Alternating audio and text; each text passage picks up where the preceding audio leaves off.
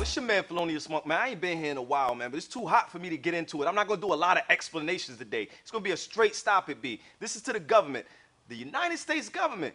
Yo, $14.6 trillion, B. All my credit cards would have been cut off a long time before that. All I'm asking y'all to do is balance B. That's all y'all gotta do. Son, we voted for y'all because we were worried about gay rights, marijuana getting legalized, all of these other things that we were concerned about. How can we get roads, more money for schools? You bastards can't even balance a checkbook? A checkbook, B? This is something every American has to go through every week. We gotta figure out what we're gonna pay, what we gotta put off a little bit. You bastards got the $14.6 trillion before you realize, oh shit, we've reached the debt ceiling. How do you even approach the ceiling without knowing you're close to the ceiling? You listen.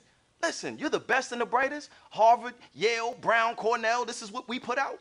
Should have went to Norfolk State. Bastards, you would have got the same education. You would have spent a whole lot less money. So all I'm saying to you is, and this isn't personal, this isn't Democratic or Republican, this is everybody. Stop being a dickhead and balance the fucking budget. My second question though, my second issue is, how the do you owe China, B? How do you owe China? How can I tell my daughter with a straight face is capitalism is a better system than communism if we're borrowing all of our money from the biggest communist country on the planet. You ass, get your, oh, don't even stop it, B. Stop your life, B. Get your whole shit together. Get all of your shit together. Don't do another press conference, fuck CNN, MSNBC, Fox News. Don't do any more television appearances until you got my budget balance. And I'm gonna tell you this, I'm gonna tell you this. Everybody who has a loan to the federal government, paying it. Don't pay your budget, don't pay your bills, because they ain't paying theirs. The I gotta pay my bills for if you don't pay your bills. I'm not doing what you don't do. You're the leader. I'm following. You don't pay, I don't pay. How about that, simple motherfuckers? What is your credit score? What's the government's credit score right now? It's gotta be a 350.